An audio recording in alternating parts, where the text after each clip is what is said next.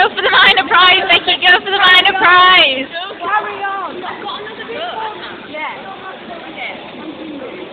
Why are you freakishly good at this? Oh, oh Becky.